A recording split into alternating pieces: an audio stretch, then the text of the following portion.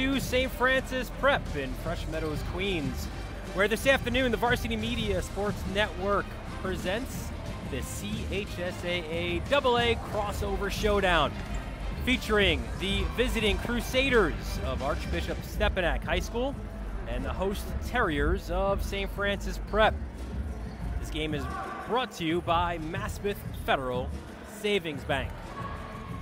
Well, good afternoon, everyone. Dylan Butler here with John Perez. And John, a special feel here this afternoon. There's not many opportunities, maybe because it's a crossover game and certainly because it's two of the elite teams in the Double A this season and the last couple of years. But if it's, it's one of those games where, like, there's not many in the Catholic League where you really can make a statement and I think both teams can do that here this afternoon. And the CHSAA scheduling gods also favoring Archbishop Stepinac because they like to see this challenge of having St. Francis Prep and Christ the King this week. But, you know, there's been a palpable buzz since dismissal here at St. Francis Prep and the crowd arriving in. There's always something special about these Tuesday games. And for Stepinac, an opportunity where we've said the narrative the entire year has been who are the top four teams in the CHSAA? It's very top heavy, so what's the order of those top four? Well, Stepinac's already knocked off Cardinal Hayes to begin the season. Uh, they have St. Francis Prep today, Christ the King later. An opportunity to make a statement here for Stepinac as you look at the standings as well. And hey, you know what? It goes to show how competitive, too. How about St. Peter's and what they were able to do earlier on as well uh, in the season, but so jumbled up at the top and uh, Boogie Fland, as he's pictured there, an opportunity. He doesn't shy away from any challenge, and for Stepinac, they're here to make their claim against the Terriers. The Crusaders' only loss of the regular season in league play came to St. Peter's, and that game was played at Christ the King. As you mentioned, a nationally televised game coming up on Sunday night in Middle Village, where the Crusaders will take on the Royals, in which a, a game that many believe is the two best teams, right? But where is St. Francis Prep? Well, in the standings, you see they're behind Christ the King, four and two, a little bit jumbled up there as well. Obviously, Christ the King leading the way at seven and zero, but the Terriers coming off of a loss, uh, or actually both teams coming off a loss. First, we'll talk about Stepinac. They've played a ridiculous schedule, right? I mean, the number of top 25, top 50 teams has been absolutely incredible. That includes their loss to Simeon from Illinois, a team that's ranked number 20 in the country by ESPN. Uh, that was their last game. That was up in Springfield, Massachusetts at the Basketball Hall of Fame, the Hoop Hall Classic. They lost 52 to 39 to Simeon. And as we spoke with their head coach, Pat Massaroni, he said, look, they're a team right now that's certainly banged up. They're down two starters and two big pieces in Ben Little as well as Danny Carbusia. And there you see them right there on the baseline, and you see Little with his left foot in a boot. So those are two starters you're missing. You go from losing to Simeon, a team that had three Division One players, that was a big, strong, physical team, a completely different squad in St. Francis Prep, a guard-heavy team, a team that on 24 hours is not an easy team to prepare for. No, in St. Francis Prep on 48 or 72 hours is not easy to prepare for. You could ask any coach around the league. I think what's interesting about Stepinac in that they've been through the battles, but like you said, losing two starters, you're now asking a lot on your underclassmen to perform. It's one thing to actually, and you'll see some freshmen in the lineup as well, get some quality minutes that someone two, three years older than him would get. Now, because of that, he's thrown into the fire, and it's already its own uh, bag of uh, uh, bag of difficulties when it comes to uh, just playing at the varsity level and then playing the Stepinac way. But these kids have responded. They've done a fantastic job so far for the Crusaders this year. Pat Massaroni has a ton of trust in them, and there's no reason to believe that they can't step up to the task today for St. Francis Prep. Uh, for against St. Francis Prep. Stepinac seven and five overall. The top 50 opponents they played. Well, we know about that win at Cardinal Hayes to open the season. The Cardinals at the time were in the top 20. St. Francis, Maryland, when they played them, they were 38. They go down to Fort Myers to the best tournament in the country at the City of Palms. I was fortunate to, to be there for a few years. An incredible basketball tournament. They played two top 10 teams in Centennial and Imhotep. Then Myers Park in North Carolina was top 40. Vashon in uh, Missouri, top 25. Paul the Six, which everyone kind of thinks should be the top team in the country. They're number three. and then Simeon, number 20. So he said it's been great. He kind of wishes he had a little bit of an older team, but it's been a fantastic experience for his younger guys. So they're coming off a loss, as is St. Francis Prep. Terriers 8 and 4. We showed you the standings 4 and 2. A rare, rare home loss. It was Friday night here, a 51 47 defeat to Xaverian, where the Clippers lead guards, Aaron Goldstein and Nasir Muhammad, combined for 44 of those 51 points. It was a, just an off night for the Terriers, and uh, their head coach, Jimmy Lynch, says that Stepinac's not exactly the team that you want to try to bounce back off a loss against. But uh, ironically, I think the last time that the Terriers, uh, before Friday, lost at home was to Stepinac. Yeah, and that was an RJ Davis led team. You know, the one interesting thing in talking to Lynch yesterday, like you said, I don't know if Stepinac is the team that I want to go against. I'm going to say that that's all coaches speak, and he's just telling us that. This is exactly the team that you want. You know, you're talking about the competitiveness of his St. Francis prep team when it comes down to a Stepinac team that, quite frankly, is undermanned, there's going to be a lot of underclassmen that are going to be playing, and it's a packed gymnasium, and you could get into the heads of Stepinac, one of the best home court advantages uh, in, in, the borough of Queens. I think this is a perfect time to play Stepinac, make a statement, but also uh, give the seasoning to these underclassmen, and I think if Stepinac is not hitting their shots, and this isn't exactly gospel, with these underclassmen, if they don't get into their own heads, uh, this could be a long day for the Crusaders, and they'll look to avoid that here. Let's take a look at our players to watch for both teams. First, for the visitors from White Plains, and for Archbishop Stepinac, we were thinking it would have been Boogie Flans and Danny Garbusia, right? Because it's not a big stretch. Uh, but again, Carbusia out. He's day to day with a shoulder injury.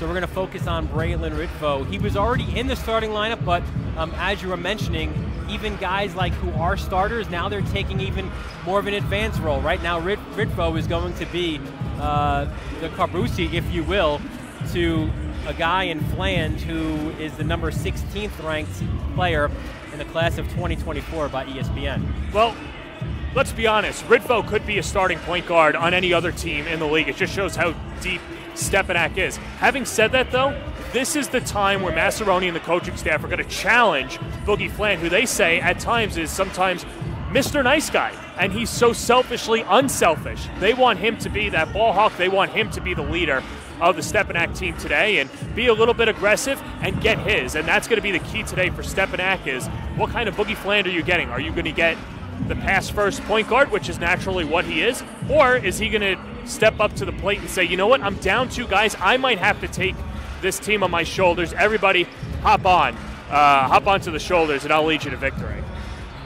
And for St. Francis Prep, the Terriers, uh, it'll be their main guys. And it's interesting, in that loss to Xaverian, we'll show you their impact players. Josh Pasquarelli, a year ago, one of the best three point shooters in the league. He's still an excellent three point shooter.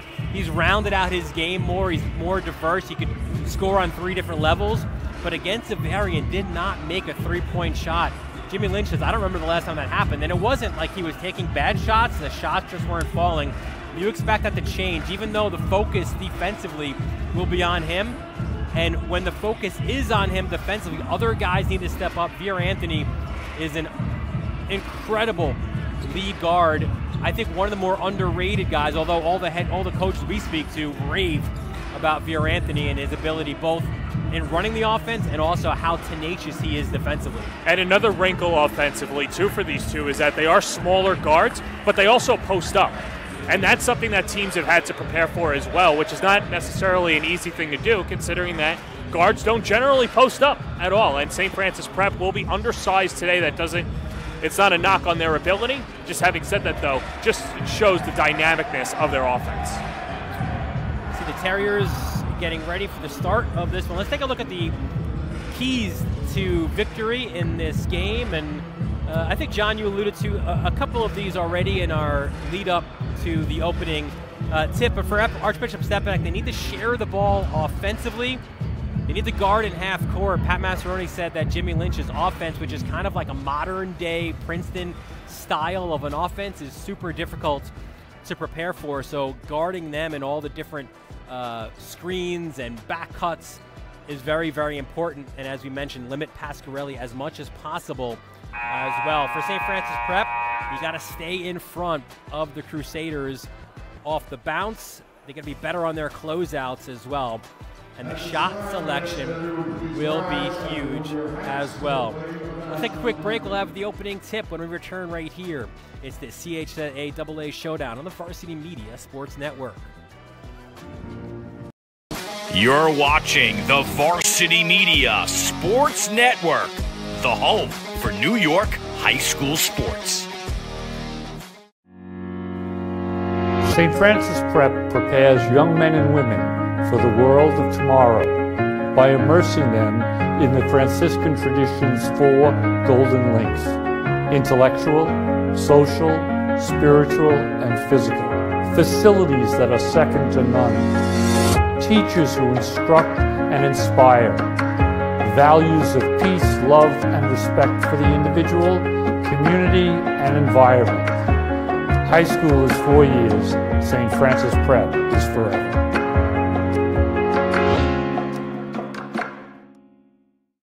Maspeth Federal Savings is here through it all the ins and outs, the ups and downs, through the winters, the summers, and even the spring of leaks.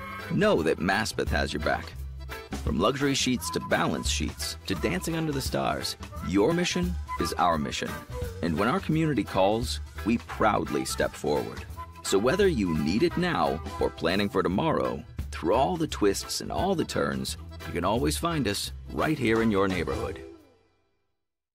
Varsity Media covers every sport at every level from every angle. Game film, recruiting videos, highlight videos, sportscasts, Thunder, and what a look!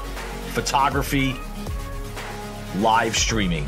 You name it, Well, Toby, I'll we offer it. what you explain. Don't leave your video needs to amateurs. Trust the pros.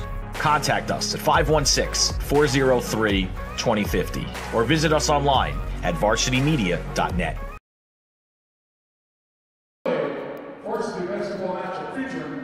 We welcome you back to Fresh Meadows, Queens. Dylan Butler, John Perez here with you at St. Francis Prep. The starting lineups about to be introduced to both teams.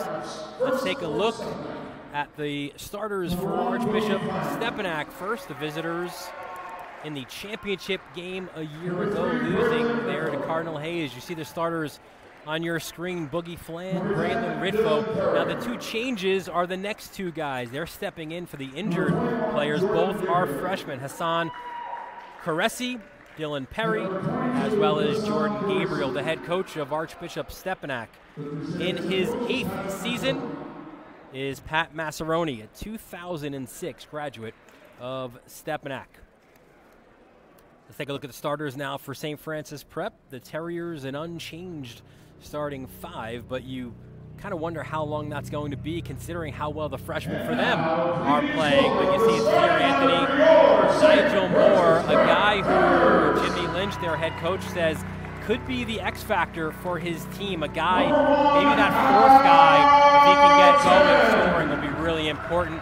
Pasquarelli, we mentioned Tyler Michelle, as well as Al Chen. Inside, the head coach of St. Francis Prep in his sixth season is Jimmy Lynch, a 1999 graduate of St. Francis Prep, a former assistant coach, associate head coach for the late great Tim Leary, was last year's CHSAA Coach of the Year. Our officials for today's game, Orrin Barfield, Mel Chedham, and Steve Rossiter.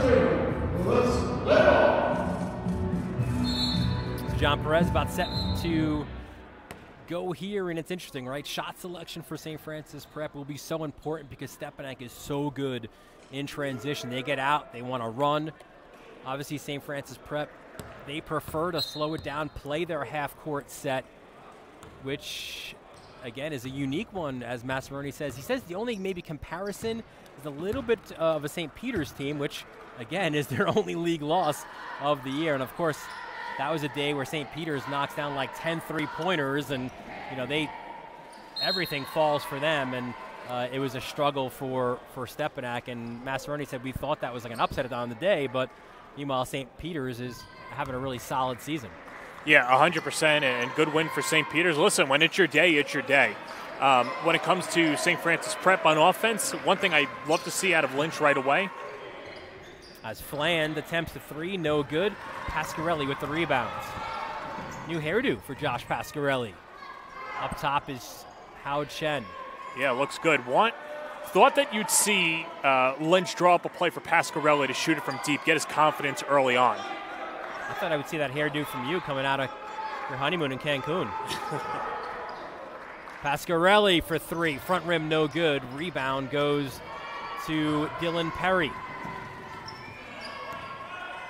Perry will now set the screen for Fland. Good job by Pasquarelli to flash out. An open three point attempt. Rims around, no good. That was Caressi. The rebound, though, goes to Ritvo, who puts it in. Ritvo, just the transfer from Trevor Day School, uh, a good guy that's really taken a huge leap this year and uh, opens up the scoring for the Crusaders. Yeah, more comfortable in his skin this year at Stepinac after transferring last year. As Pasquarelli now top of the key, guarded by Fland. Fland the takeaway.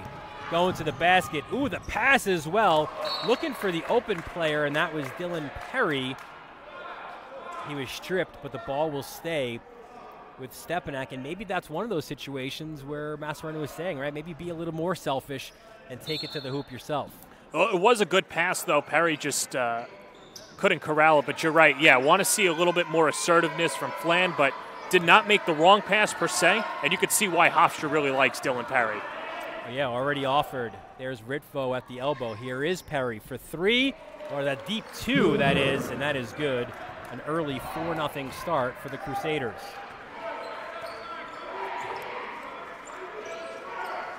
Tyler Michelle, guarded by Gabriel. Here, Anthony, back out to Michelle. Gabriel, a transfer from Mineola. It's a long trip from Mineola up to White Plains. There's Pasquarelli to Anthony.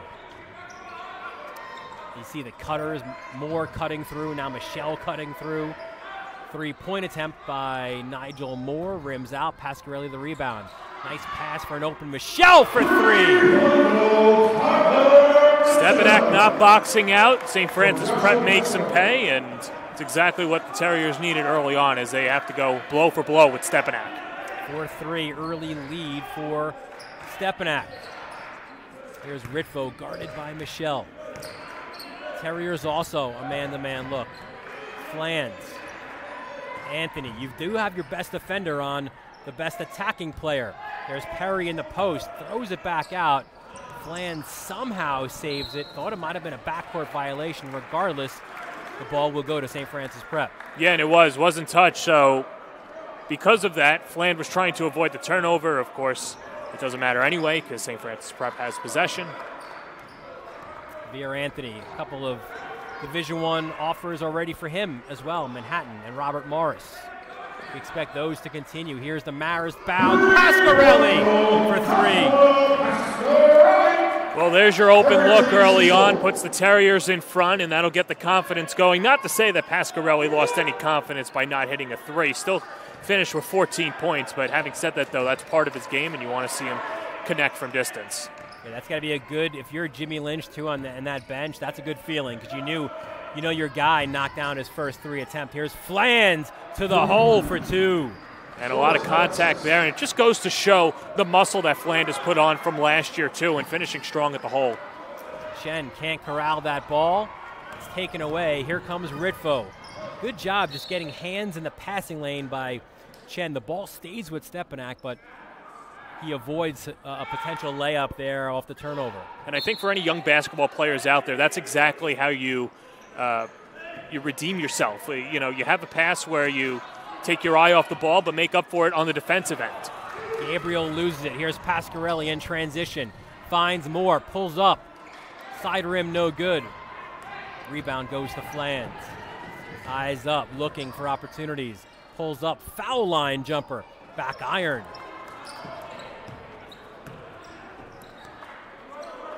Got a good shot, just a little long, but good job boxing out for the Terriers. Michelle up top to Moore. Averaged 20 points for the freshman a year ago.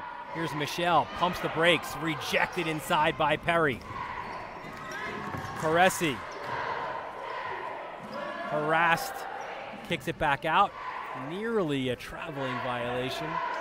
And it goes to Fland. And Shen will be called for the blocking foul. He tried to flash out as we saw a moment ago. This time, though, he's called for the foul. And Shen will go He'll stay on. bench, right?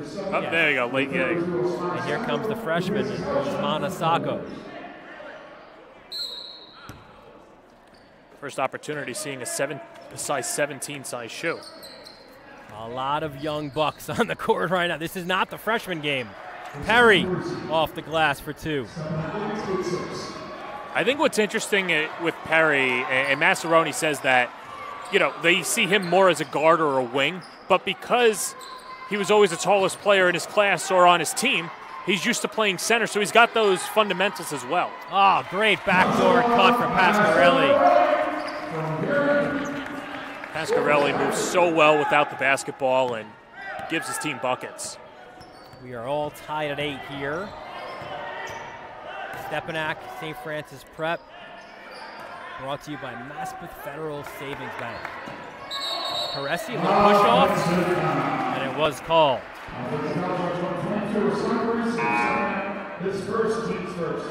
Another substitute and another freshman enters the game as Troy Faison steps in. How many freshmen? Let's count them up right now in this court. You got Faison, Sacco, Perry, and Caressi, right? Four Yep. freshmen on the court combined. Vier Anthony, who he, he's the uh, elder statesman as a sophomore. Here comes Fland, the head of the field is Ritvo for the jam. The old man jam, the junior Ritvo with the two-handed slam. Balanced scoring for Stepinac right now. Four different players in the scorebook, and the visitors have a 10-8 lead. Vier Anthony drives, gets some contact, and he gets the basket. Tough to hang with him. Josiah Jervis, the freshman, trying to stick with them, but you just see the added muscle by the elder statesman. Yeah, Vier Anthony, legs like tree trunks. Perry, top of the key. They'll swing it. Oh, yeah, Jervis, sorry. It didn't mean to leave him out. So it's five freshmen on the court. Number 25 as Caressi gets to the basket. Caressi, of course, from an athletic family as well. Uh, his brother Solomane playing on Iona Prep. It was a good Iona Prep team a few years ago. Bryce Wills, who played at Stanford, as the three gets cashed in by Pasquarelli, and that's a second triple of the quarter. It was right with Boogie Fland's hand right in his face. Now Fland looks to get to the basket, loses it. Great defense by Vier Anthony. Another sub for Stepinac. Amir Sullivan checks in. And he's one of those guys where really like this is in our conversation with Massaroni, the guys who were maybe six, seven, eight on your bench now have elevated playing time because of the injuries. Yeah, and that's something that they've been fighting for all year. Um, Massaroni says that he's always had competitive groups, uh, guys that are always asking, how can they play? How can they play? As uh, Stanchi gets fixed, and that's what happens when you got a few rim rockers on both sides. But yeah, this is an early call, and for Massaroni, he's probably telling, all right, you guys wanted playing time, you've got it. Now show me something. Yeah, that's the glass half full, right? For Stepinac, you, you have this crazy schedule, and we'll detail it as this game goes on. The schedule this week is also brutal as they get back to league play now, but it's a fantastic opportunity for these young guys, right? Michelle now for three, and that's good. Good to see the confidence early for the Terriers. And Sullivan didn't do anything wrong. In fact, he stood with both ball handlers and had a hand in the face, but just couldn't stop Michelle. Second triple of this first quarter for Tyler Michelle. Inside the final 30 seconds. Oh, nearly steps there as well for Ritvo. Up top to Jervis. Swings it. Here's Sullivan looking to drive baseline. He loses it though, and turnover. What this will do as well, John, is give St. Francis Prep the opportunity here to take the final shot of this first quarter as Gabriel checks back in for Sullivan.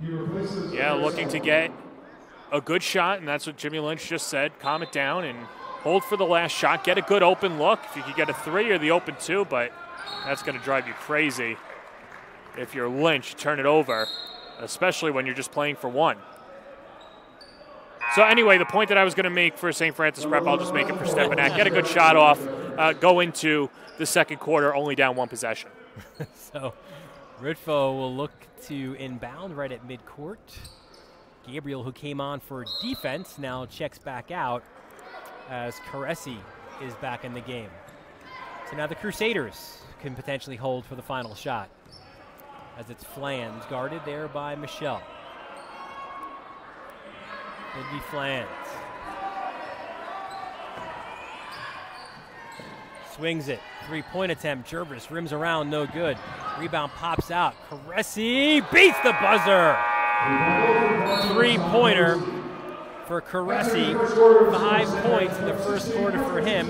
And he does exactly what you said that Massaroni hoped they would do as they pulled this game to within one point. A really good opening quarter here in Queens. Your score, St. Francis Prep 16 and Archbishop Stepinac 15. You're watching the CHSAA AA Showdown presented by Maspeth Federal Savings on the Varsity Media Sports Network. You're watching the Varsity Media Sports Network, the home for New York high school sports.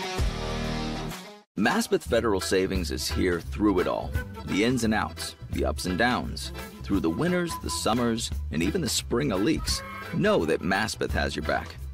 From luxury sheets to balance sheets to dancing under the stars, your mission is our mission. And when our community calls, we proudly step forward. So whether you need it now or planning for tomorrow, through all the twists and all the turns, you can always find us right here in your neighborhood.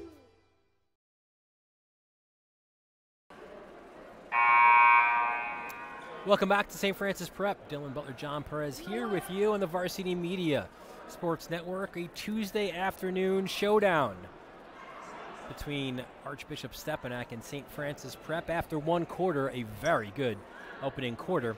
It is St. Francis Prep with a one point lead. Yeah, got some big time shots from distance coming from Vera Anthony, Pasquarelli. Michelle hit a shot as well, but St. Francis Prep, sloppy basketball, the final possession that allowed them to give up a three. Pasquarelli off the screen, three-point shot, back rim, no good. Here comes Stepinac, Jervis. Hands off to Ritvo. Tries to drive baseline, rejected by Sacco. Moore. Anthony in the lane, off the hands, though, of Faison and out of bounds. Really love the size of Sacco, and you know he's a player that can win you some ball games down the stretch, especially with his defensive interior presence. And you saw his first block of the quarter uh, in the last trip down. He's that difference in this St. Francis Prep team, right? There is not another six-seven guy. Obviously, you see a team like Christ the King; they've got about 37 of them on their team. Sacco is that guy. Fland off balance, forcing one there and it goes out of bounds. But you know what, Dylan, and you've seen this too. Um, in your time covering the league, you can win with guards. Uh, and look at Xaverian in 2015-16, going with five guards. Uh, Deontay Wise, Zach Bruno on that team. I'm sure St. Francis Prep is tired of hearing about Xaverian, but either way, uh, it can be done. And this is a team that has the horses to do so and a good combination of guards in the backcourt. That said, it, it does help to have number 32 there on your side as well. Pasquarelli to the hole. Doesn't get it. There was a little bit of contact, but I like this veteran officiating crew. They're letting him play. Yeah, I mean, listen, when you got Oren Barfield on the call and uh, the rest of the officials as well, uh, Steve Rossiter and uh, Mel Cheatham, then yeah, they let it go. I mean, some of the better officials too uh, in the league getting these A games. Anthony off the inbound. Chen in for Sacco. Good call underneath. You see Vera Anthony looking to try to post up, and the foul called underneath. Yeah, Howard Eisley is going to get tagged for the foul, and you know, fresh 35 for St. Francis Prep. And that's what one of the things too that you were saying is Chen steps out straight deep too. But that's one of the things that you were saying that also makes this St. Francis Prep team in their offensive sets unique and difficult to defend because Anthony and Pasquarelli will post you up down low. Here's a steal save, but it saved to Jervis. Jervis. Eisley for three. It's good. Eisley needed that in the worst way, missing 12 of his first 13 shots from distance to begin the year. Obviously, his father, an NBA vet, uh, assistant coach at Michigan, but uh, Eisley, a guy that they're expecting a lot of big things out of.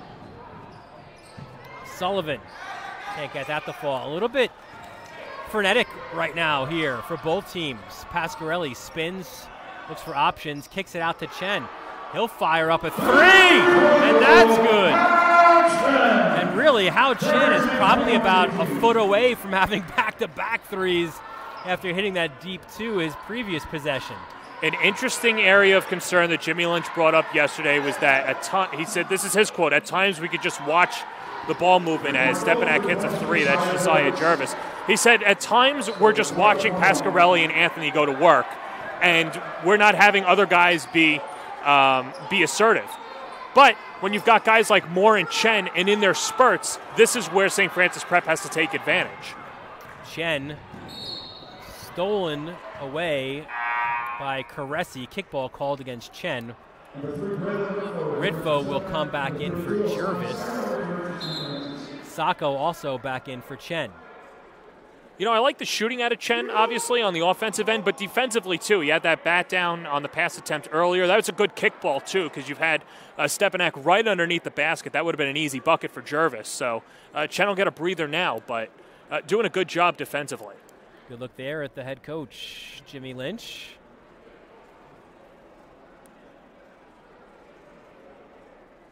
Jimmy looks like one of the students. Yeah, he's. I, I love too. He's staying old school as well with the with the sweater, uh, as the late great Tim Leary did as well.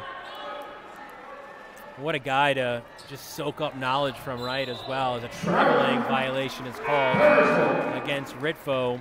Isn't that the rule, though, if you coach at a Catholic school or institution, that you have to wear a sweater? In Queens, excuse well, me, that you have to wear a sweater as well? A sweater or a sweater vest. Right. You can go sweater vest as well, but yeah, there needs to be some.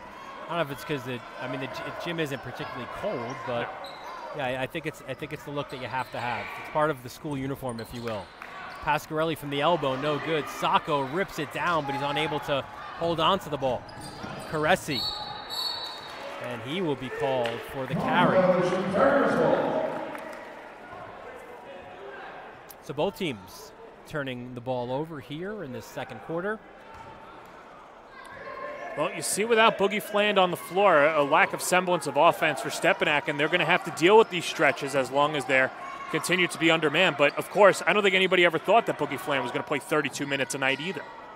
Sacco steps out, foul line jumper, no good. Pasquarelli gets the rebound, quickly passes it to Anthony. He's doubled in the corner, kicks it up top to Michelle. Michelle now tries to drive basket. Good look down low, and Sacco unable to get the finish, but he'll go to the foul line. Good aggressiveness down low. He's really got good feet, good hands as well. Uh, just someone who, as he continues to grow, put it together. Uh, he's just going to be one of the toughest players to watch, uh, toughest players to guard in the CHSAA. Made this point in previous broadcasts, but you know Jimmy Lynch talks as you see Sacco here inside, just missing the potential three-point play, but he's got that high and potential. And potential sometimes a, a, difficult word, a scary word, as he misses both free throws. But it's a little bit unlike a player who's ever come through here. Right? You, you've not had guys who have gone to Kansas and Kentucky like maybe other CHSAA programs have. High off the glass is Nigel Moore for two. You know, Moore, a guy who had the propensity for scoring, averaged around 20 points a game as a freshman uh, on the freshman team and because of that offensive output, has earned a spot on the varsity squad. Ritvo steps out, in and out, goes his three attempt. Anthony down the court to Sacco, and he'll lose it on the baseline. Stepinac ball. Harry and Fland back in for the Crusaders. That's what I was going to say. For Stepinac, you, you kind of want to get your main horse back into the game. Took off uh, the first half of this quarter and with the Terriers not exactly gelling on offense, this is an opportunity to not only take the lead but make a statement. Steal down low by Moore. surveys the situation, swings it to Michelle. Back out, and there's Pasquarelli. He'll be that combo guard for John Dunn up at Marist. That three no good. Look at Sacco getting up high, and the lefty finish inside. Not an easy thing to do off balance, but Sacco with the deuce. Four point lead for St. Francis Prep.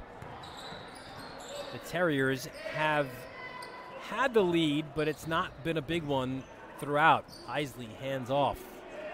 Caressi to Perry. That's freshman on freshman. Perry and Sacco. Eisley, six on the shot clock. Michelle flashes out on Fland.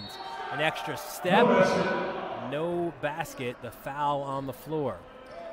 Gotta love the aggressiveness, but you can also see the Fland uh, a little frustrated. Uh, his team a little stagnant, moving without, uh, the, not moving without the basketball, and that'll frustrate a point guard who's trying to create a play, but also create contact too. And I'm sure in Boogie Fland's mind, he's saying, "Hey, well, they're not going to call the hip check foul. I need you guys to get open." Ritvo inbounds underneath to the foul line to Perry. Here comes Caressi off the Perry screen. That shot no good. Jump ball. The possession stays with Stepinac, and that's a little bit of the issue, I think, for St. Francis Prep. And we've heard it wasn't one of the keys this game, but for so many games that we've done, Jimmy Lynch is one of our keys is rebounding, team rebounding, because we don't have the size as the other team. You see Sacco there, able to battle at six seven, but not getting the other help as obviously a bigger Stepinac team winning that possession. Flange Bang.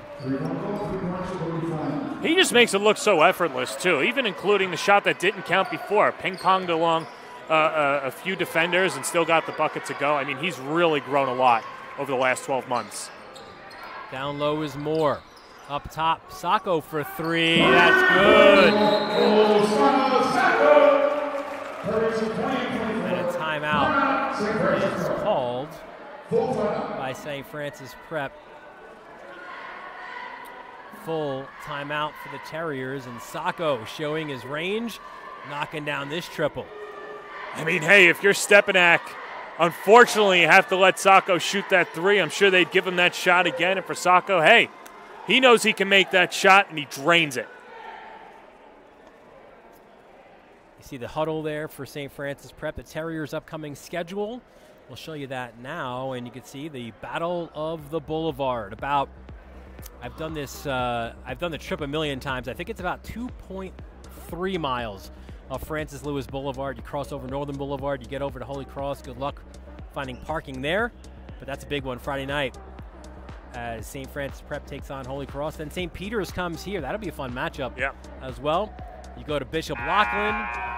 another place. Good luck finding yeah, parking no parking there. there. or Molloy. Yeah, well, you're home for Molloy, so uh, maybe a little bit of a better chance if you know somebody around here uh, to get a parking spot. But that's the upcoming schedule, and it's kind of the same for both teams now. You know, you play you're out of conference and you're out of state. You go to City of Palms. You go to the RB Classic if you're St. Francis Prep, and, and, and now it's the nitty gritty pretty much of your schedule. Um, it's all league play now. It's Tuesday, it's Friday, it's Sunday, and rinse and repeat going forward. And it adds to uh, the familiarity, as the uh, clock never went off, uh, just being familiar with these other teams. You know, Stepinac and St. Francis Prep have aspirations on winning a city championship and a state title. They're going to have to face each other again. So they're going to take what they're going to, you know, they're going to take the lessons out of this game. Of course, they'll be watching the replay of the game as uh, all broadcasts are archived after the final buzzer. Um, so they could watch that on youtube.com slash varsity media. So they're going to be doing that um, as well as getting to know the rest of the league because you've got the diocesan and you've got the intersections. I feel like this is, uh, as we mentioned at the beginning of this broadcast, one of the special things about this game is the crossover games. Your, your, your divisional games in Brooklyn Queens or, or the New York Archdiocese, and you play teams twice, home and away. These games only you face a team once. As Eisley, he'll knock it down again. You're only playing these teams once in a season, so it, it, it lends maybe some added emphasis on a game like this. Eisley, two triples in this quarter. He only had one on the season. One point lead for St. Francis Prep. Nigel Moore will dial it up from deep. And he could shoot it from deep. Was injured in the beginning of the year, had some nagging injuries, but seems full of form now. X Factor. Dylan Perry says, I'm going to join the three point party. That's the first time that I didn't see Chen go up on a defender and Perry makes him pay. Pasquarelli's like, listen, I'm the guy who leads this charge. I need another three here. Faison. A cutting Pasquarelli back out to Faison. Chen, he's got a triple already on the day. Make it two. It is raining threes here in Fresh Meadows. Final minute of this first half. Four point lead for St. Francis Prep. Perry guarded closely by Chen. There is Flans. He's got Michelle on him. Tries to shake him. Pulls it up. Back rim no good. Perry, the volleyball putback attempt, no good. And then he's called for the foul. That's a frustration foul there against Stepinac. But one interesting thing that I think we didn't really notice, or at least I'm starting to notice now, for St. Francis Prep, they haven't doubled Boogie Fland at all. And because of that, uh, there haven't been any open looks for Stepinac over the last four minutes. And uh, good job by Jimmy Lynch and the scout. I, my interesting thing that I've noticed too is that it's been Michelle guarding Fland when Veer Anthony is arguably their best defender. So now shot clock off. Terriers can hold for the last with the four point lead. Anthony Chen sets up the screen.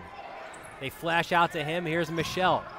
Five seconds left. Anthony through traffic, loses it, still has it, turns baseline, and that shot is no good. A four point lead for St. Francis Prep at the break. A really good opening first half of basketball. We'll be joined here at halftime by St. Francis Prep head coach Jimmy Lynch. Uh, you did remember. I appreciate that. I, I, I, had to wave you down there for a moment. But uh, Jim, thanks for joining us here at halftime. Um, I thought a high level. I mean, obviously both teams turning the ball over a little bit. It was frenetic at times, but I thought a very high level first half, for really for both teams. Yeah, I don't. I don't think you can make a mistake in this game because I think both teams are just countering the mistakes. Uh, you know, you screw a little bit up here or there, somebody's going to hit a three, somebody's going to race down the floor and make an easy one. You know, you mentioned yesterday too about at times your offense could be a little bit stagnant, looking for other offensive weapons. Well, Hao Chen and Nigel Moore, what have you thought of their performances? They're playing great because they're doing they're doing minimal. You know, what I'm saying? Like when we're we're really good when we don't dribble, we don't over dribble. We just make the right pass and we cut and we take the open shot. When these guys take the open shot, they can make open shots. So if we don't try to do too much, we're really good. Boogie Fland with five points in that in that first half. He's obviously one of the best players, if not the best player in the league. What's been the key there? I know that it was Veer Anthony early on, and then Tyler Michelle, and uh, making it difficult for him. It seems like. Yeah, just you know, he's so talented. He's so good. Um, he's going to have a spurt here at some point where he scores six or eight in a row. Um, it is what it is. Limit his touches, make him take a, a really difficult shot, and then try to be a little physical with him. If he, if he puts it on the floor, try to square him up, foul him with your chest, and, and take your best shot on him. And just lastly, what do you want to see from your team here in the second half? I hope we can shoot it the same way that we shot it uh, in the first half. And, and I think we're going after the ball. We got a good effort from some guys on our bench, so we're playing really well. We just got to move the ball, play within ourselves, and we should be okay. Jimmy Lynch, head coach, St. Francis Prep. Thanks for joining Thanks, us. Thanks, guys. Thank you. It is halftime here in Queens. It's a four-point lead for St. Francis Prep over Archbishop Stepinac. You're watching the CHSAA Showdown presented by Maspeth Federal Savings Bank on the Varsity Media Sports Network. You're watching the Varsity Media Sports Network, the home for New York high school sports. Maspeth Federal Savings is here through it all the ins and outs, the ups and downs, through the winters, the summers, and even the spring of leaks. Know that Maspeth has your back. From luxury sheets to balance sheets to dancing under the stars, your mission is our mission. And when our community calls, we proudly step forward. So whether you need it now or planning for tomorrow, through all the twists and all the turns, you can always find us right here in your neighborhood. St. Francis Prep prepares young men and women for the world of tomorrow by immersing them in the Franciscan tradition's four golden links intellectual, social, spiritual, and physical. Facilities that are second to none. Teachers who instruct and inspire. Values of peace, love, and respect for the individual, community, and environment. High school is four years, St. Francis Prep is forever.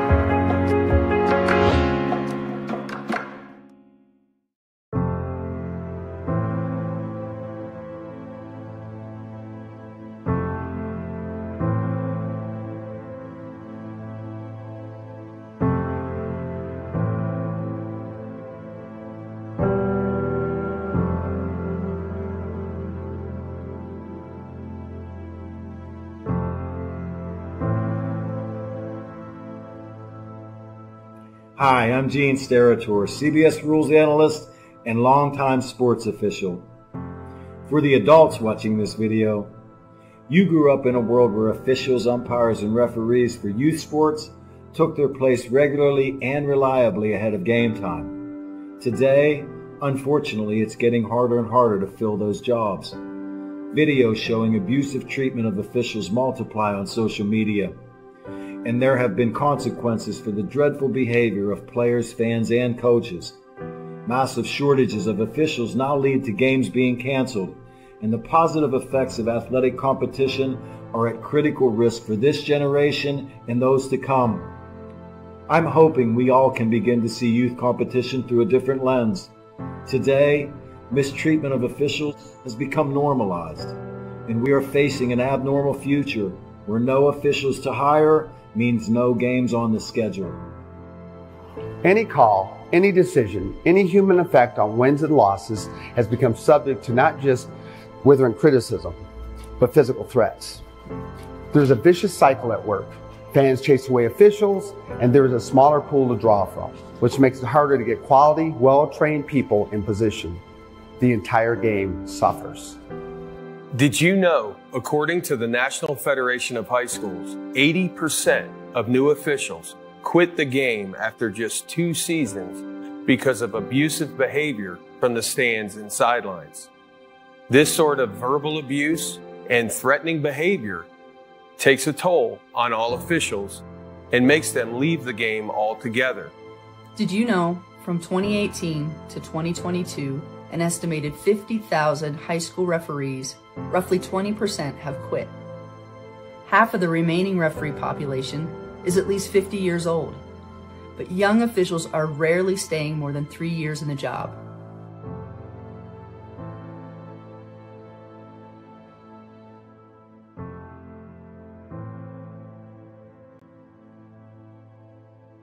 If the number of officials working contests in all sports doesn't begin to increase, there won't be enough officials to work the games.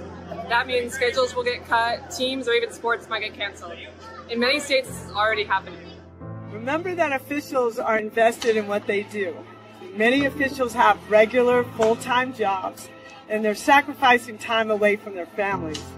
Try to demonstrate empathy, put yourself in their position. Think how you would feel about getting yelled at throughout your workday. Yelling and arguing with officials sends the wrong message to young players. According to Play by the Rules Sports Advocacy, it teaches them that it's not okay to make a mistake. They can blame others for their actions. They can disrespect authority figures. And it's okay to be rude and selfish. You know, officials enforce rules, keep competitions fair, and make player safety a priority, allowing youth sports to be a valuable arena for growth. If we can all just work together and be more empathetic to not just the officials, but everyone else in youth and high school sports, we can then preserve what many of us have embraced about athletics. And you and I know the benefits of sports, right? Let's spread that gratitude and be proud of what we can build and not blind to how it's being torn down. Calling officials cheaters or corrupt, it's not a game. Insulting referees, it's not a game. Threatening officials, it's not a game. Berating young umpires, learning the ropes, it's not a game. Violent language in the stands, it's not a game. Verbal abuse from the sideline. It's not a game. Screaming at a referee in the parking lot. It's not a game. So what happens now? Your response in the heat of the moment is the only thing you totally control, and we have an experiment for you to try.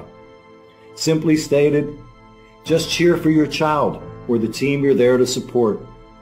Move that desire to lash out to a different place and encourage without rage. Your child's sporting memory should be about how you helped inspire and not about how you caused embarrassment.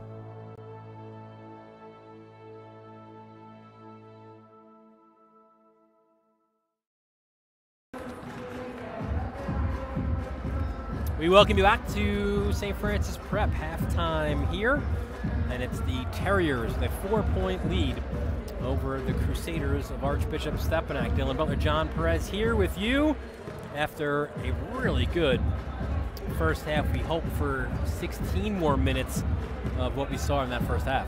Particularly of that man wearing number one, Hao Chen, lighting it up from distance, doing a good job defensively too, and Jimmy Lynch saying that he and Nigel Moore just keeping it simple, uh, the simple kiss method. Uh, look it up at home, but you know, it, when they're not overthinking, they're allowed to be themselves. And what Chen has been has been a lockdown defender and a good shooter as well. And uh, St. Francis Prep is going to need those two to step up because you know that Stepinac is going to fight back. It was a three-point explosion there, especially in the second quarter. All one, two, three, four, five baskets for Stepinac were from beyond the arc in that second quarter. They have six threes on the game, eight for St. Francis Prep, evenly divided between the quarters. Let's take a look at the leading scorers for this game. And that's also been pretty balanced uh, as well. No one really kind of jumping off the page. Chen, you mentioned before, he and Pasquarelli with eight apiece, and Dylan Perry leading the way for Stepinac with five. You mentioned before the break, Boogie Fland with five points. Stepinac's got one more score, scorer than St. Francis Prep. They have seven different guys who have scored the ball where St. Francis Prep has had six. Gotta love sharing the sugar, but how about Dylan Perry getting the assignment, thrown into the starting five, and he's responded beautifully. Yeah, Perry came in uh, to this game averaging just 3.3 points a game. Uh, came into this season as the sixth man, right? But as you said, right, opportunity knocks, and uh, Perry making the most of, uh, of a start. You wonder how many more he's got, right? Or will he now push? Maybe uh, an incumbent starter, a guy like Ben Little, who was so good in the early portions uh, of the season, especially that game over at Cardinal Hayes, really that statement opening season win on the Grand Concourse for the Crusaders, not avenging last year's championship loss. You can't do that in your first game of the year, uh, but an important one for Stepinac, no doubt. Chen, oh, blocked by Ritvo. Another rim rocker by Ritvo, indeed. And you just knew that that was coming. Ritvo reading that shot coming like a telegraph and a two-handed slam. Ritvo's two baskets today, both slams. Two-point lead for St. Francis Prep now. Michelle, and he was harassed on his way to the basket by Perry, who's called for the foul. It's his second. One thing to keep an eye on for Dylan is not a lot of fouls called in the first half. Nobody was in foul trouble either, so these officials have let them play, and I think that's been a big reason why they've been able to stop uh, some of the potent scores for Stepinac. Pasquarelli from three, his third three-pointer of this game. Well, comes in averaging 17, threw up a goose egg from distance, and good to see the response in the follow-up game for Pasquarelli. Michelle, end to end for Tyler Michelle. He's just a guy that if he can score and he's doing things the simple way, it's tough for any team, especially Stepinac. Fland pulls up, so tough to guard Boogie Flans. Yeah, there's nothing you could do there. It's just his world sometimes, and you just have to live in it. This league has a lot of really good players. Fland, you can make the argument, and there's few who will disagree with you, could be the best this year. Winning the Catholic League Player of the Year is certainly an accomplishment. A year ago, was Tobe Awaka as a three pointer is knocked down by Caressi.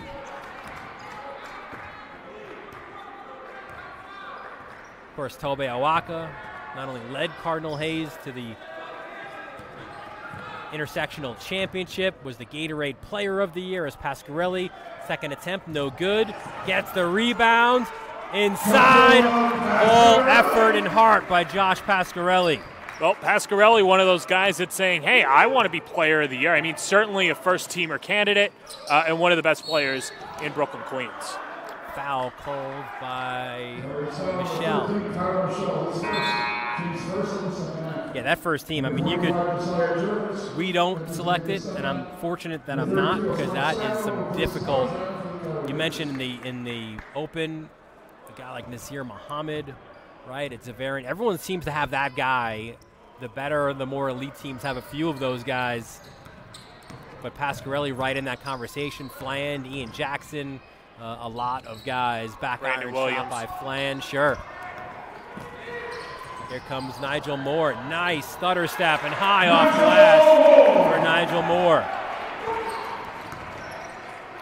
Seven for Nigel Moore. And Moore's just done everything that St. Francis Prep has asked of him to do. Ritvo looks to drive, an extra step, and a traveling violation called against Ritvo. And that and that's important. That's what that's what Jimmy Lane said. He knows he's going to get it from Pasquarelli and Vier Anthony. Michelle's become that consistent third scorer, but they need that consistent fourth scorer to maybe to get into that elite of this league. And he believes that Nigel Moore could and should be that guy. Pasquarelli inside for two more. And he just continues to get his. But I think, Dylan, what it does is, you know, how, how teams have to grind out these playoff games that are coming up. And I'm not punting on the regular season, but there's going to be times where St. Francis Prep is in foul trouble. I mean, injuries do happen. And there's going to be times where guys like Chen and Moore will have to step up, and good to see them doing it against probably uh, one of the best teams that they've faced this year. Ritvo missed a three long rebound for Anthony, who pulls up and knocks it down, and a timeout by Stepinac. That's a good timeout taken by Massaroni with the team down 10, but Mr. Pasquarelli doing a fantastic job as well as Vier Anthony. Let's take another look at St. Francis Prep just running effortlessly, and Anthony, nice little pull up pop and the flush. 13 6 third quarter right now, and largest lead of the game for the Terriers. And we mentioned Arch uh, St. Francis Preps last or upcoming games, and look at this uh, gauntlet that Stepinac's got to go through. It's bad enough that you go and play all these top 25 and 50 teams. Look at this week that you have. You go back to back days. At least you're home in front of the jungle there against Loughlin, but never an easy game. And then a rivalry game on Friday night against St. Raymond's. And then that nationally televised ESPN battle against Christ the King. You close out this stretch on a Tuesday against Mount St. Michael, which is a game in that stretch you could say, you know, could be that game that potentially you overlook as Caressi kisses it off the glass, but a really tough stretch for Pat Massaroni's guys. Yeah, no, I think that for that reason, the St. Raymond game is going to be tougher than expected. I, not to mention how talented they are and uh, how good uh, Turnage is for, for the Ravens. But yeah, it, it's a big week for Stepinac. The one solace is that they're not fully manned and they are dealing with some injuries. So when it comes to playoff time, if everybody is close to 100%, um, that's the saving grace for Massaroni. But you don't want to go one and two against the other top three teams in the league and uh, don't want to lose any other matches as well. Jervis up top. There's Fland. He gets his shot off so quickly. That one was off the mark, though, and here comes Faison. Faison blocked inside by Fland. And you know what? I'm glad to see that Fland has been more assertive to start off the second half, and he was in the first half as well. Just was out for a four-minute stretch, and, and St. Francis Prep stood with Stepinac, and now they've got, uh, you know, a, Pasquarelli, three, no good. Tapped by Fland. Ended up getting it himself. And here come the Crusaders on the break. Pull up, foul line. Caressi off the mark. Fland wants the ball. He will get it. Gets it inside. Ritvo has got the size advantage on Pasquarelli, but he can't finish down low. Now here comes Josh. Hands off. Via Anthony for three. Rims out, no good. Look at Mich- uh, look at Moore chasing it down to Michelle. He is blocked, but there is contact as well, and the foul will be against Ritvo. And Jervis, the freshman, just timing his jump a little too early and not able to secure the carry. As Michelle goes to the line, and you know, an opportunity for St. Francis Prep. You want to keep this around a 10 point edge, uh, deal a confidence blow to Stepinac, and turn this fourth quarter into a party. Michelle knocks down his first.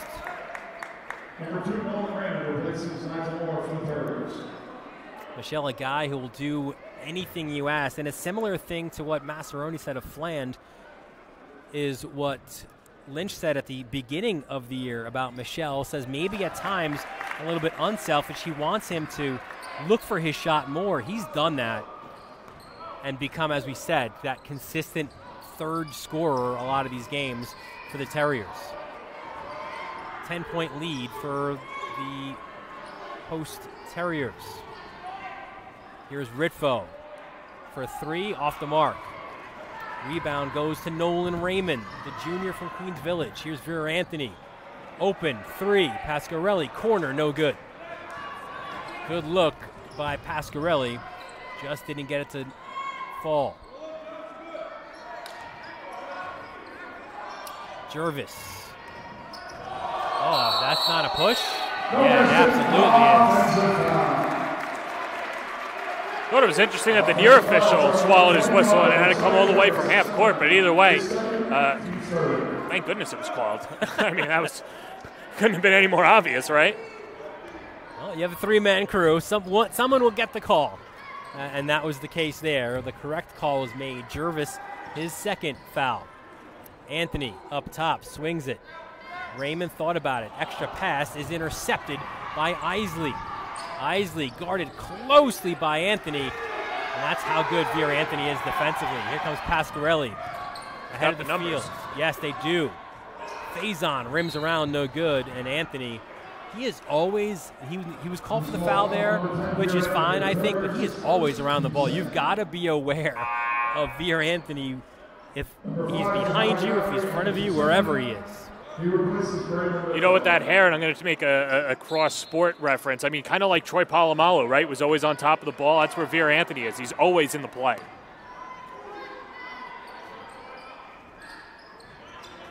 Fland. Oh, the finger roll opportunity. Fouls on his way to the basket. Second one on Anthony. Two quickies on Vera Anthony. Fland not only has that great catch and shoot, he's so quick with his shooting, but also that first step as yeah. well. Yeah, probably has the best first step in the league and uh, has been working on getting to the basket and, and cutting to the hoop. So uh, that's been working for him as well. And, you know, for Stepinac, they got to get him going. I feel like we've been saying this all day. Uh, you see the offers St. John's, UNC, Maryland. Uh, Syracuse. That among 23. Syracuse and Alabama, the latest this month to offer Boogie Fland. Good friends of Ian Jackson, and Jackson makes news just yesterday, committing to North Carolina. Congratulations to him. Nolan Raymond. He'll get in the scorebook.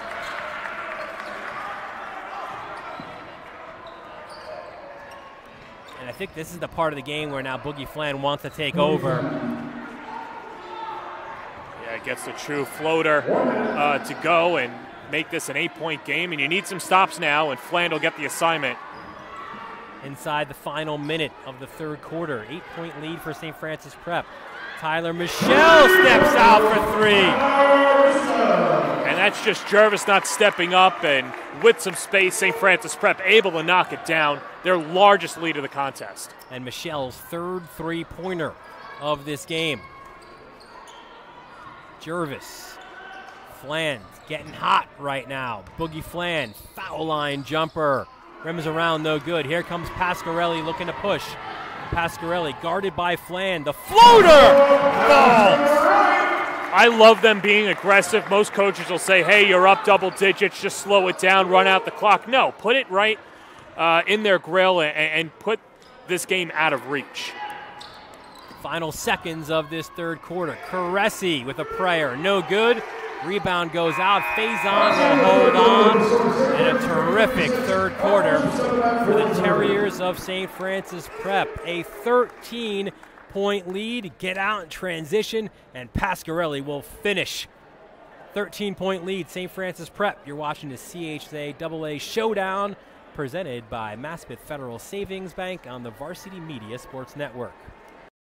You're watching the Varsity Media Sports Network, the home for New York high school sports. Maspeth Federal Savings is here through it all the ins and outs, the ups and downs, through the winters, the summers, and even the spring of leaks. Know that Maspeth has your back. From luxury sheets to balance sheets to dancing under the stars, your mission is our mission. And when our community calls, we proudly step forward. So whether you need it now or planning for tomorrow, through all the twists and all the turns, you can always find us right here in your neighborhood.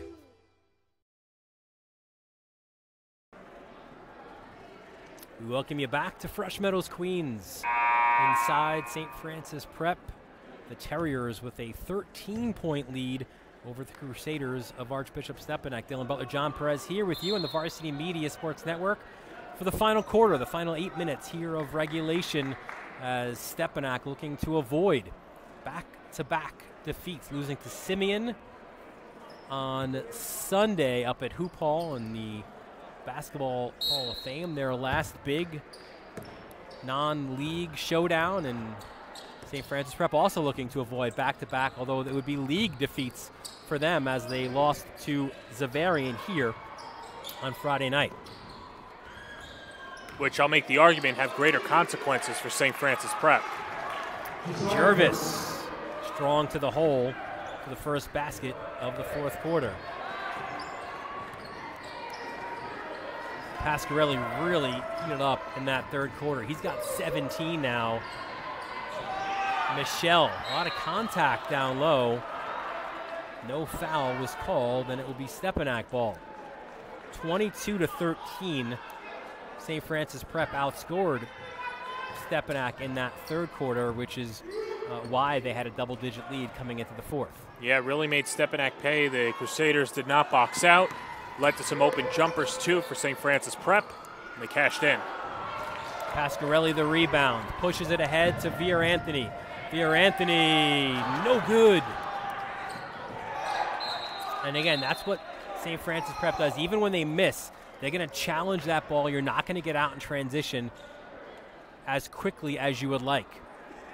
Well, and a chance to get in between the ears, too, of the underclassmen for Stepinac, who quite frankly, have just been boat raced uh, since the start of the second half.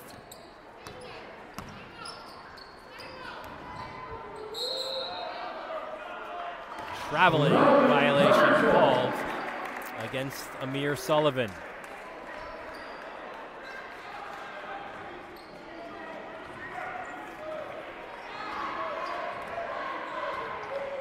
Here's Vier Anthony quiet night, at least in terms of scoring the ball for Vier Anthony. He's got four. Pasquarelli has been hot. Count it! And the foul. Terriers needed their top dog to step up tonight, and it's been Pasquarelli, who's done a fantastic job. The other crew has, has done a fantastic job backing him up, but it's really been Pasquarelli's show. And you know what? When you go against some of these top teams in the league and they know what's at stake, particularly Pasquarelli. Uh, good players don't have back to back off nights, and that's not going to be the case now for Joshua. Pasquarelli is going to be a great fit up there in Poughkeepsie, playing for Marist in the MAC conference for former Molloy standout John Dunn. Join his buddy as well, Jaden Daughtry, first team All League for St. Francis Prep a year ago. Terriers last year, what a great season they had as well as Anthony splits defenders, and he will get to the basket. A year ago, St. Francis Prep, all they did was go 22 and 4, losing to eventual champion Cardinal Hayes in the semifinals 73 62.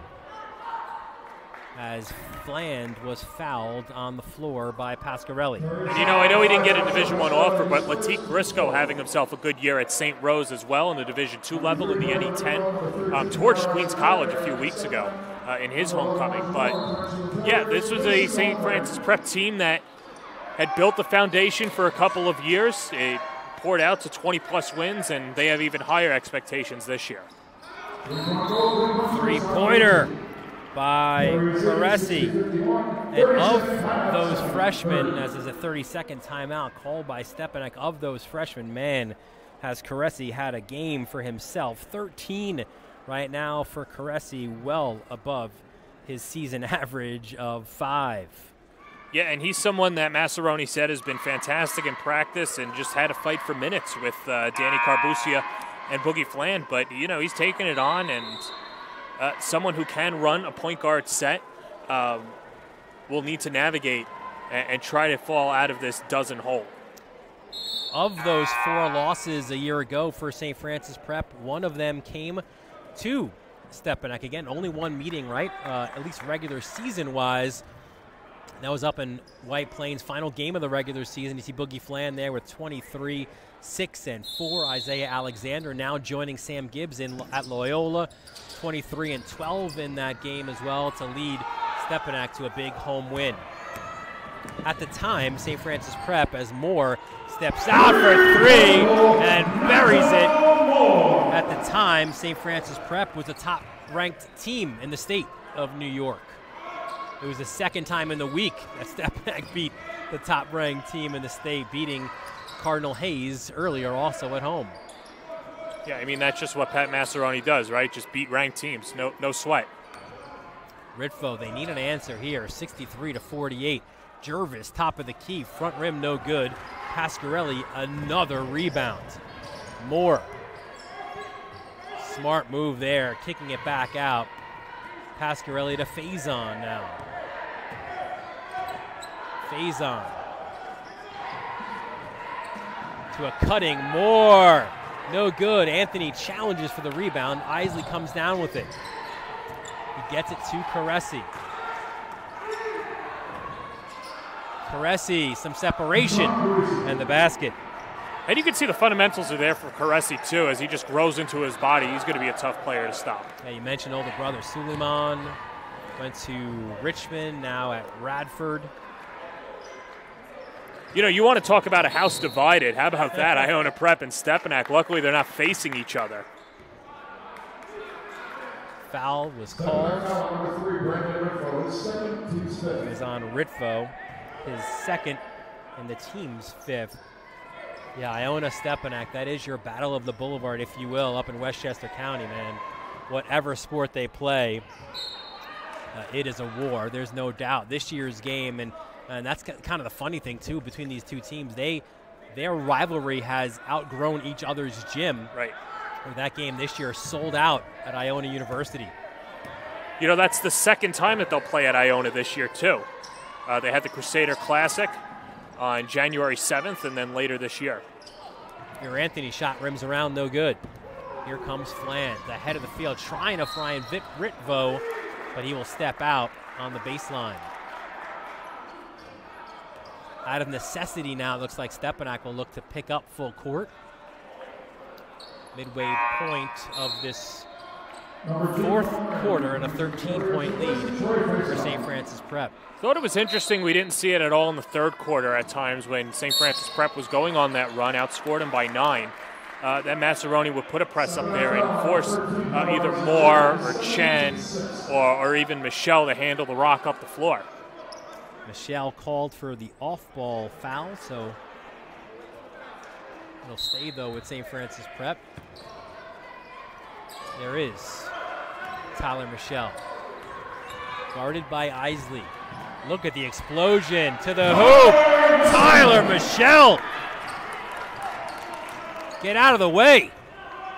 Yeah, the siege is opening up for Michelle. I mean, he's having himself a day. And miscommunication there between Ritvo and Fland. Michelle with 15, which is the lead right now for St. Francis Prep as well. Michelle hands off to Michelle. It feels like everybody is getting involved in the scoring. We don't have the shooting percentages here, but it's got to be very high right now for St. Francis Prep. Look at Fland just wanting that basketball. Gets to the hoop and the harm. Well, it's going to have to start now for Stepinac and particularly Boogie Fland and try and get three points per possession. If there's anyone that can do it, it's Fland. But, you know, he hasn't found his stroke since the first half, and even then, only five points at the break. Um, St. Francis Prep has done a fantastic job, and just to piggyback on your point earlier, Dylan, to beat Stepinac, whether they're undermanned or not, it's going to take a full team effort. And you can now put this tape out there. Uh, look at the St. Peter's victory as well. Uh, there's a blueprint out there to beat Stepinac, and it just takes a full team effort. Now, is that easy? Obviously not. Uh, but that's what it's going to have to take to knock off the Crusaders. And St. Francis Prep, three and a half minutes away from doing so. Comfortably, by the way. Well, that run, it looks like that Lynch thought that Stepinac would have. Maybe he's starting now. Anthony, did he deflect it on the way out? We have some help, and it is a tip, so it'll be Stepinac basketball.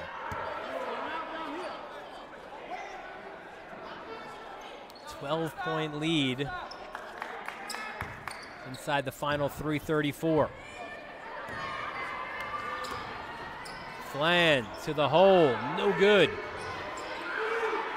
And here comes Vera Anthony ahead of the field. Nolan Raymond, wild shot, no good. Thought he was, he thought there was the contact. It was not called, and it will be Stepinac ball. First time, by the way, today we're seeing number five, Jahai Gary, into the game, and same is true as as soon as we saw Gary, the wide receiver on the football team, on Michael O'Donnell's great Crusaders football team. He leaves the game, and first time we're seeing Cole Decker, the senior, the oft injured, unfortunately, Cole Decker. He's got a lot of NESCAC interest. There is Decker in the lane. No good. Shots are just not falling for Stepinac this afternoon.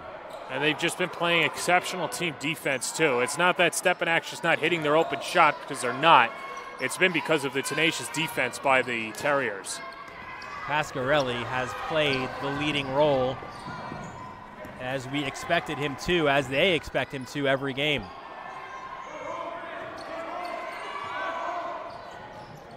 Inside look.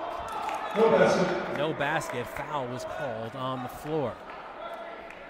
Stepinac foul number 13, Howard Eisley Jr., his third, team seven. It should be free throws the rest of the way. Number five, Jahai Gary replaces Cole Decker. That was Eisley's third and the seventh, so Michelle will shoot the single bonus. 15 points for Tyler Michelle to this point. I mean, what more can you say about Michelle? It's basically been his coming out party. I mean, he's been fantastic, and the question mark for St. Francis Prep this year was who's going to step up after Anthony and and Pasquarelli? Yeah, supplemental scoring. Right. Well, there it is, capital S. Whatever that means. And Nigel Moore has done that as well, right? He's got 10. Michelle now with 17. Fland high, arcing three is good, and a timeout called by Massaroni. Full timeout, seven. 17 now for Boogie Fland as well. Well, like the timeout by Massaroni, you want to slow it down, set up your press, uh, but also say exactly who uh, you want to foul. If, if you are going to foul or trap or anything like that, as you take a look at the recent uh, CHSAA champions.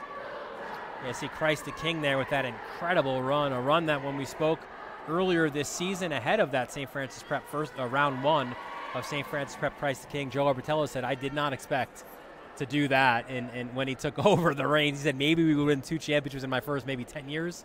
And you see all the, the championships for Christ the King, a team that is arguably, I guess we'll find out sometime around 11 o'clock on Sunday night if they remain that team, but arguably that team to beat. Stepinac obviously has a great uh, argument for that as well. You see the Crusaders there as well, and uh, they had that win in 2018, but they've been to the championship game so many times as well, falling just short a couple of times as well. Can we talk about the job that Pat Massaroni's done in his six years? Um, excuse me, in his eight years for Stepanak? and you remember too before they ascended uh, to the greatness, or at least getting to the finals. They had a super talented team: Jordan Tucker, Andre Hyatt. They didn't win a lot of games. Um, they switch up personnel, bring in a guy like R.J. Davis, uh, who's really young. Uh, the Griffin brothers, uh, obviously one in the NBA, another good career over at Syracuse. Uh, Joel Soriano, who had a fantastic game against UConn for St. John's. Uh, he's just built a culture of winners and has brought players to the next level. And we'll see some jostling underneath as Howard Eisley pushed Veer Anthony. Yeah, Massaroni, like the good head coach that he is as well, gives a lot of credit as well to his associate head coach Rodney Swain, and he said really the culture change for them kind of happens in year two together, where you know you're getting kids and families help change the culture. You mentioned Griffin and Soriano, Xavier Wilson, R.J. Davis. He had 10 wins that first year to 18 to 27. They win a federation championship as well, and it's from that point, it's about trying to maintain that success going forward. You know, it, it, it's it's what separates the winning programs, right? Able to stay and make adjustments and stay on that level. And not to say it's easy to win a championship, but you win one. How hard is it to win number two, number three? Ask Joe Arbitello, like you just said uh, before. Not exactly easy, no matter how gifted or how much of a history your program has. You still have to go out there every day and play those 32 minutes, and sometimes more.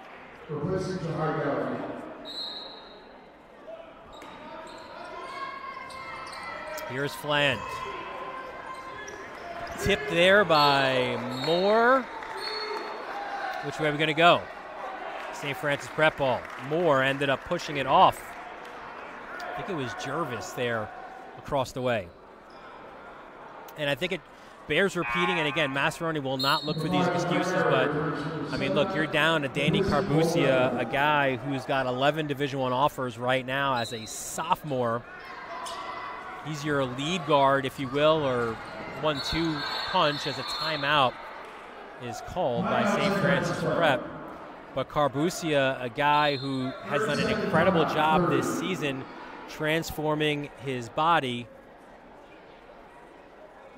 Unfortunately, in the new year, when the ball dropped in Times Square, it fell right on the on this basketball team for Stepinac. Uh, they've been really hampered with injuries in the year 2023. Carbucia being the biggest, along with Ben Little as well. Uh, but Carbucia, a guy there, you see some of his, those offers for him. FDU, Fordham, LIU, UMass, St. Louis, Seton Hall, St. Bonaventure, West Virginia. We expect to see he's listed as day to day with that right shoulder injury. Uh, put on the the practice gear yesterday and uh, was able to raise his shoulder above his head, which uh, brought delight to his head coach. So maybe not too much in the future now for Carbucia to get back on the court. Same probably for Ben Little, who's fortunately with his uh, foot injury has still been able to to work out and stay in shape and is able to swim and, and do all the things other than get on the basketball court. Well, and there's steps too, right, to, to the whole rehab process. And I'm not a doctor or anything, but I'd have to imagine that Massaroni, it's it's one getting them healthy enough. So with Carbucia, uh, lifting the, his shoulders or his hands above his shoulders, that's great progress. But one, when are they going to be able to practice? And then how do they feel after practice? That's the big key. Can they practice two times a week and then play three games? Especially with a daunting playoff schedule that's going to come up uh, towards the end of next month. It's a long recovery, and obviously in basketball, you need your shoulders. you got to shoot the ball, you got to pass the rock. Um, so that's something to keep an eye on for. With both of those guys, and even Little, who's dealing with the foot injury, he's got to get up and down the floor. Can't keep him on one end. 21, game high 21 now for Pasquarelli. 69-56 lead here inside the final two minutes of this fourth quarter. We're so thankful you're able to join us here on a Tuesday afternoon. Cole Decker for three, rims out, back iron. And you can make the argument for St. Francis Prep the Terriers about 90 seconds away from their signature win of this 2022-23 season. Michelle, little four corners right now for the Terriers. Inside pass to Michelle, and he's fouled in the lane. Foul on Eisley.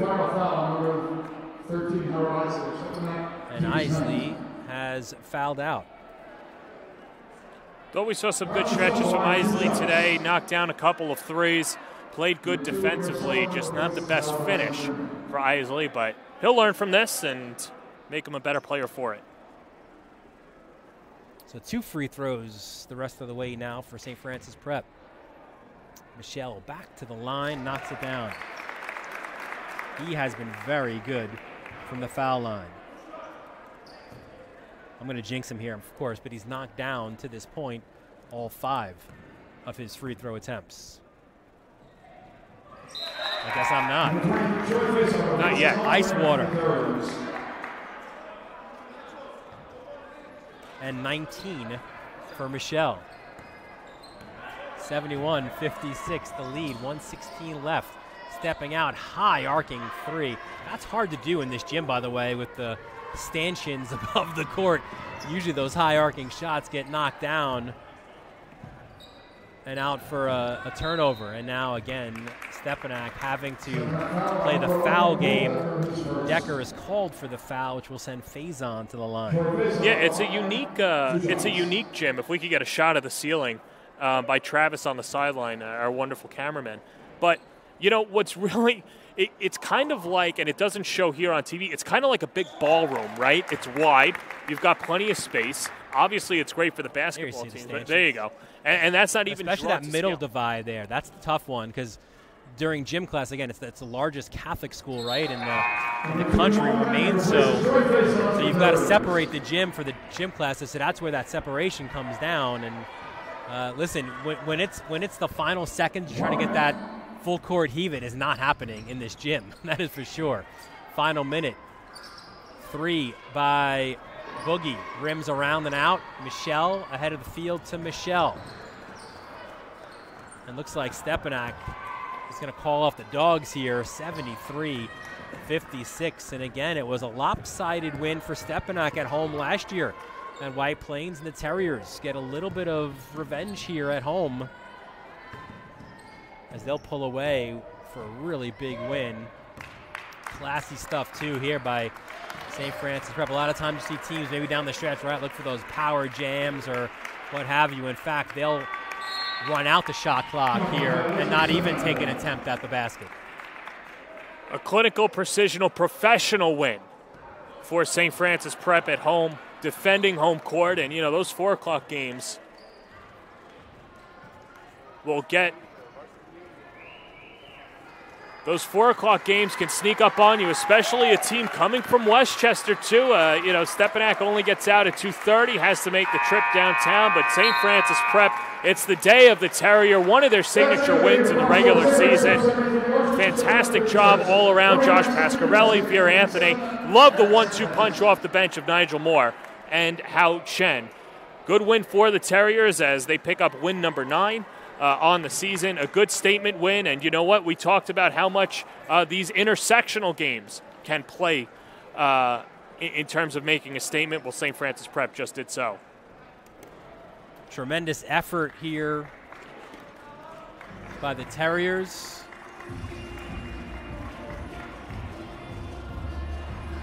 And we'll get our player of the game momentarily. John Perez will track him down, but uh, great team effort by St. Francis Prep. Again, coming off that loss to Xaverian, a big, big home win for the Terriers.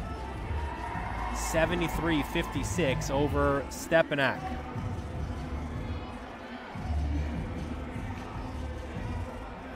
We're endeavoring right now to get our player of the game, Josh Pasquarelli another big performance and another big win. And uh, we are joined now by Josh, Josh, Dylan Butler, John Perez with you. Congratulations um, on the win. Look, you guys are coming off uh, a very a rare home loss. You don't lose at Yeah, home very yeah. often, um, and it was a little bit of a, of a strange game for you guys. The shots, the looks were there. The shots didn't fall for Xaverian, um, but you guys bounced back in a big way today.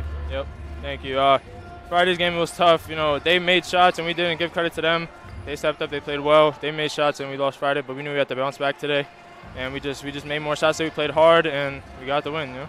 For you personally and your head coach, uh, Jimmy Lynch was saying he can't remember the last time you didn't make a three in a game against Xaverian. One, how much was that on your mind? And once you saw the first one go down today, what did that do for your confidence? Uh, it just felt good to knock one down because that's what I really do. I'm, I'm a shooter. But after the loss on Friday, I made sure I put up shots on Saturday, and Sunday, and Monday. So that's all it was. Good mindset just to get back in the gym, put some shots up, and they dropped today, and that's what we needed. And these guys were off on Saturday. There was no off day for Josh Pasquarelli. He was back in the gym taking shots. Josh, it wasn't just you. I mean, you had 21 today, but you know Tyler Michelle with 19, uh, Hao Chen that big first half as well. It seemed like you know you, maybe you guys were expecting that run by Stepinac, but the, but your collective shooting, I think, took them out of that. Yeah, uh, great game overall.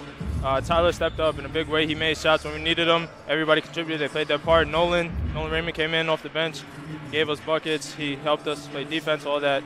Just a productive day for everyone. How much of a statement does this give for St. Francis Prep to the rest of the league? Uh, it just lets everybody know we're still here. Uh, with the people graduating last year, we're still one of the top teams, and we're here to compete the whole season.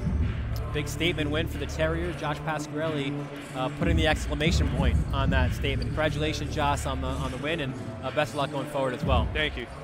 So St. Francis Prep a 73 to 56 win over Archbishop Stepinac, led there by Josh Pasquarelli with 21, Tyler Michelle with 19 as well, Nigel Moore with 10. Hey, those are your big three right there, and you do that, John Perez, without having Veer Anthony have a big day, at least scoring the basketball. Only Right. had six, but you had those three guys in double figure scoring and a couple other guys who, who were right on the precipice as well. Well, and I think that's what makes Veer Anthony such an attractive prospect, right? When he's not getting his buckets, he's contributing defensively. And that's exactly what he did. But you know what? I like the two sidedness of uh, Hao Chen today and Nigel Moore. Obviously, they hit the shots. That's what's going to stick out in all the publications after this. But defensively, doing a good job of locking down Boogie Fland in the first half. And then you know what? With that big run that St. Francis Prep had, they could then be flexible on their game plan, let Fland go off because they're stopping everyone else. They're at five, beat Stepinac's one uh, in that matchup, and a big win for St. Francis Prep. As Mr. Pasquarelli said, they're still here. They are still here. I think Stepinac is as well. Um, again, under uh, undermanned today with their two injuries to Carbucia and Little, but Fland had 17. Um, a big, big kind of uh, breakout performance by Hassan Karesi. That's got to be a, a, a positive for Pat Masseroni. He had 15 in this game, but only those two scorers. There wasn't that third guy here today for the Crusaders, who dropped back-to-back games. Stepinac is now seven and six overall, four and two in the league. St. Francis Prep improves to nine and four and five and two in the league. Well, that'll do it here from Fresh Meadows Queens for our entire varsity media crew. A terrific one as well for our executive producer, Ben Turchin, our technical director, Chris Sweeney, the guys bringing all the great images as well, Humesh Budu and Travis DeLuise from my broadcast partner, John Perez, Dylan Butler, thanking you for joining us and look forward to seeing you next time right here on the Varsity